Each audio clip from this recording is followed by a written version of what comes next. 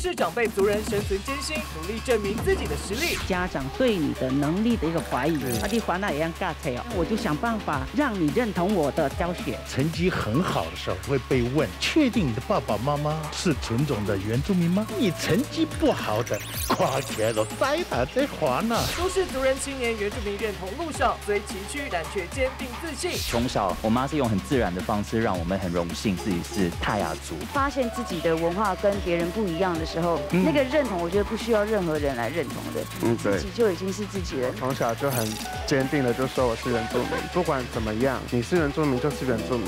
因为我是原住民，但我人在都市，就我怎么样都要紧抓这个线回去。爸爸妈妈每次跟我说不要输给白浪，其实是很多的创伤造成对我们的期待。不管我们在哪里，有一个支持跟相信的力量是很重要。到底都市青年族人圆不圆？每周四、周五晚上九点，一起来收看《。